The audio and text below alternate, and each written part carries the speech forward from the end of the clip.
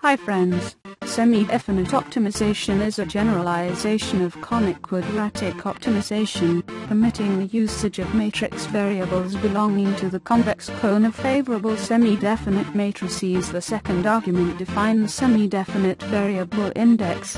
In this example there is just a single variable, so the index is zero. The next three arguments provide the number of matrices utilized in the direct mix their indices is returned by MSK and sparse mat, and the weights for the private matrices, respectively. Semi-definite optimization life cycle is a process of activity and methods used for the development of a system or software product. It helps organizations for the activities to impose maintenance of resources forecasting of various aspects is being done so as to gain the knowledge related to the various future vulnerabilities and to make sure that the future work could be processed in a smooth manner.